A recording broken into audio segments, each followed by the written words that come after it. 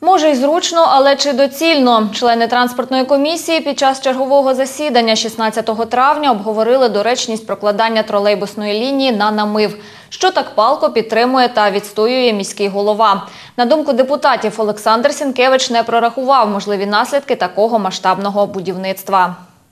Депутати занепокоєні. Від початку йшлося про те, що задум мера обійдеться місту в 7 мільйонів. Тепер сума виросла в 5 разів, а доцільність прокладання подібної тролейбусної лінії на намив і досі під великим питанням. При цьому, окрім вартості самих робіт, оцінених в 32 мільйони гривень, не враховано і додаткові суттєві витрати від ремонту асфальтного покриття і розширення проїзної частини до збільшення потужностей підстанцій та навіть укріплення берегової лінії.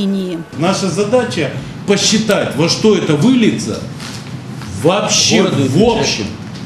Это не только построить линию, это увеличить полностью нагрузку, раз, Спасибо. рассчитать с береговой зоной, которая уходит в море, два. Нагрузка пойдет серьезная.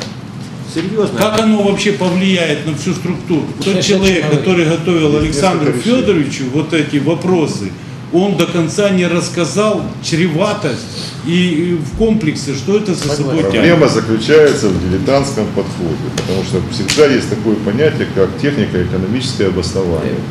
Почему технико-экономическое обоснование? Потому что делается два, а то и три различных варианта. В данном случае мы уже здесь озвучили минимум три. Да. Первое пустить троллейбус, второе то, что я говорю, пустить шаттл, то есть маленький автобус, который бы собирал нуждающихся По кругу вывозил и по кругу вывозил к остановке. Третье пустить добус, Да. считаются затраты и считается там э, Целесообразно. эффективность, целесообразность, и дальше делается вывод, какое решение в данном случае принять. И э, четвертый вариант, а нужно ли оно вообще.